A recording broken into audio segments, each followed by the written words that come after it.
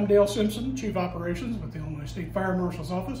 I just want to say a very big thank you to all our brother and sister first responders, police, fire, EMS, emergency management. Come out to the fair on First Responder Day and enjoy yourself, have a corn dog, stay late, and have fun.